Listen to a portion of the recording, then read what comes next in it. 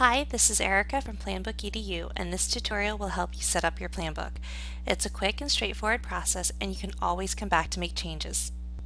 To get started, you can click on Planbooks in your blue navigation bar and then create Planbook. If you don't have any pre-existing Planbooks, you will automatically start a blank Planbook. However, if you do have existing Planbooks, you will be given the option to create a new blank Planbook or to copy an existing Planbook. You can start by naming your plan book and choosing the start and end dates for your calendar. You can choose how many periods per day you would like and if you use standards you can see that we have several standards that we currently support and if you don't see standards that you use you can create your own custom standards and save them and then they're accessible for any plans that you create.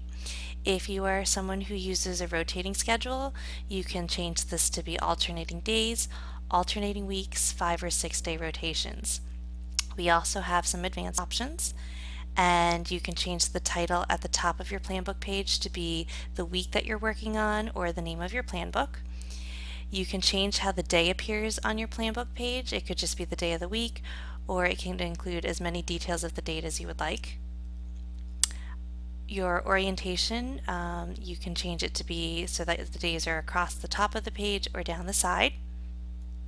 And if you'd like to include an additional column or row, select title period and that will put that in for you.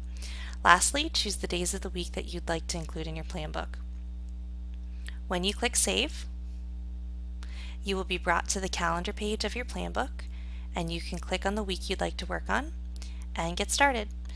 Um, at any time you can go back to plan books in your navigation bar to see the plan books that you've created and you also have the ability to move plans from plan book to plan book um, and if at any time you want to make changes to um, your plan book just click on edit by the name of the plan book and you'll be brought to the same menu.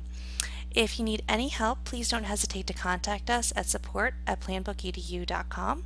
We're happy to help and uh, we also hope you check out our other tutorials. Thank you.